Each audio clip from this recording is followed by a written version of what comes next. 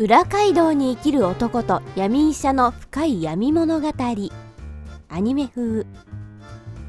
俺の名前は皆野走り18歳だ。中学の時にちょっとした事件を起こして少年院に送られ出てからも素行不良は治らず何度となく警察の世話になっている。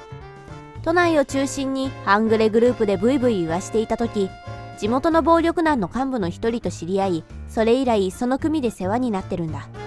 俺の兄貴分にあたるその人は結構でかい組の若頭で俺も将来は兄貴のような立派なヤクザ者になりたいと思っているんだ。まあ俺の場合まだ組に入ったばかりで杯も交わしてないし雑用しかこなせないけどちょっと前までは半グレグループでそれなりに鳴らしたもんだ。近いうちにでっかい仕事をこなして必ず成り上がってやる。おいみなのへい兄貴何ですか？お前免許持ってたよな。ここにもうすぐヤスが運ばれてくる。そしたらお前すぐに薮田先生のところに連れて行ってやれ。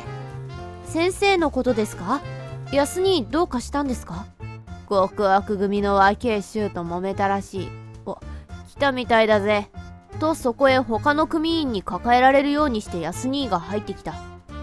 兄大丈夫ですか？見るとヤス兄は左肩の辺りから出血している。足取りもしっかりしているがすぐに止血する必要があるだろう。さっさと連れて行ってやんな。俺は車を飛ばし薮田先生のところに向かった。薮田先生は医者ということだが看板は出していない。普通の一軒家のようなところだが中にはちゃんとした医療設備が整っている。先生安兄が。聞いてるよ。すぐにそこのベッドに寝かせて。俺はうなる安兄をベッドに寝かせた。幸い弾は肩に残ってるな。ええこれチャカで撃たれたんですか？だったら弾が残っているのやばいんじゃ。バカ野郎弾が貫通していたらそこから事件になることだってあるだろう。あなるほど。これからすぐに手術するからお前はもう帰っていいぞ。はいわかりました。俺は事務所に戻ると兄貴に報告した。でも兄貴あの薮田って堅気のくせになんだか偉そうですねまあな。でも先生がいねえと困るのは俺たちだ。そうなんですか？医者なんてその辺にいくらでも。組合の中にはまともに健康保険にも入ってねえやつもいるし。今度みたいに鉄砲傷や刀傷を仇の医者に見せたらすぐに警察に通報されちまうだろう。ああなるほど。それだけじゃねえ。店で働いている女の子の病気や中絶なんてのも先生の仕事だ。まあ外科じゃなく医療全般担当ってとこだな。へえ。でもそんな偉い先生がよくヤクザの医者なんかになってくれましたね。そこで兄貴はジロリと俺の方を睨んだ。ヤクザの医者なんかとはどういう意味で？あすいませんでした。まあいい。あの先生昔手が後ろに回るようなことをしてな。医療免許剥奪されたんだよ。だから大っぴらに医療行為はできねえんだ。ああそれで看板が出てないんですね。持ちつ持たれつ需要と供給の関係ってやつだ。なるほど。まそれ以外にも結構役に立っているんだけどな。兄貴はそう言うと何を思い出したのかにやりと笑った。それからしばらくして俺は安兄の代わりにバツバツ地区の諸場代を回収する仕事の手伝いをするようになった。スナックやバーなんかからみかじめ料を回収する係だ。名目上は店に置いてある観葉植物のリース代金の集金となっているがもちろんそれは口実だ。一件一件の金額はたかが知れているがまとまれば結構な金額になる。組の運営資金はもちろん上納金にとっても必要な金であることは間違いない。金を納めてもらう代わりと言っちゃなんだが俺たちは店でトラブルが起きた時にケツを持ってやる。酔っ払いやわけのわからない連中との揉め事を力ずくで解決してやるってわけだ。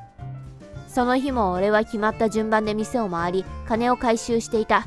あと少しで担当している店が終わるって時に事件は起きた。地下にあるスナックからみかじめ料を受け取り車に乗り込もうとした瞬間突然3人組に襲われたんだ。必死に抵抗するも不意をつかれた上に3対1俺は気絶し上納金をかっぱらわれてしまった。店の連絡で組の人間が駆けつけた時には犯人どもは跡形もなく消えていたらしい。俺が目を覚ましたのは薮田委員のベッドの上だった。おお気がついたか。あ兄貴俺。起き上がろうと力を入れた瞬間体のあちらこちらに激痛が走った。無理をするな。全身打撲の上右腕と右足の骨にもひびが入ってる。おまけにあばらも何本かいかれてるらしい。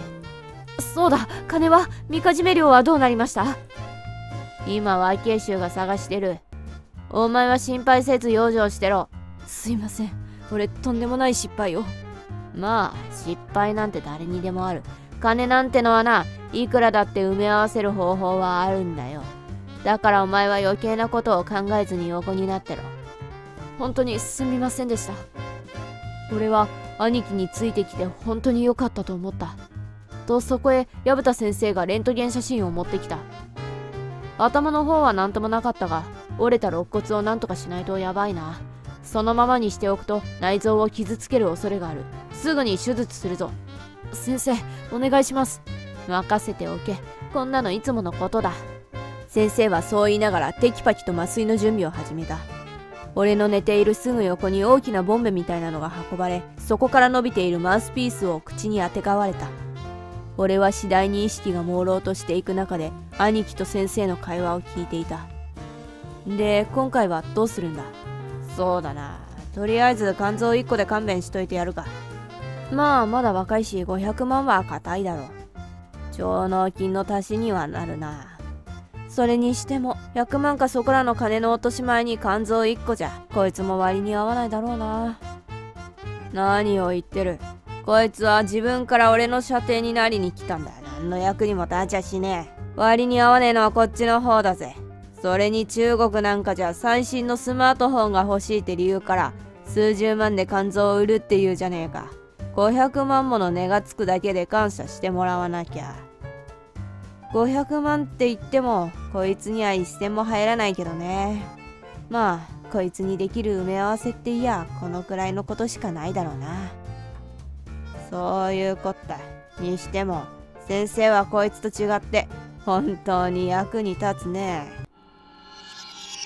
本日もご視聴くださいましてありがとうございました。ぜひ評価や一言コメントチャンネル登録をしていただいたりと何かしらの形でこのチャンネルを応援していただけると嬉しいです。